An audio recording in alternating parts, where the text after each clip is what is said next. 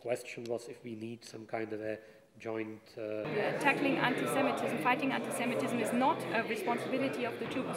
It's a responsibility for society at large, and therefore we have to make sure that we pull our forces and our strengths to uh, tackle this issue together.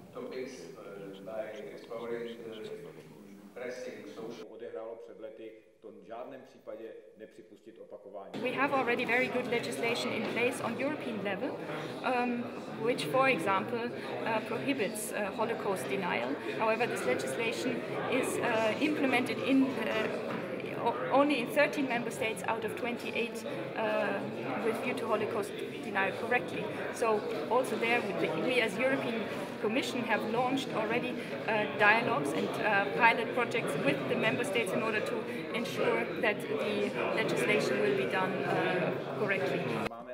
Máme instrumenty a jsme dostatečně silní, abychom něco podobného.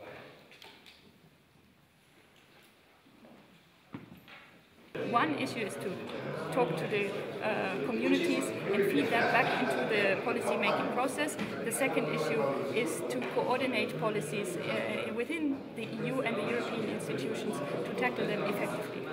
meetings uh, uh, will uh, follow. I want to say that we appreciate very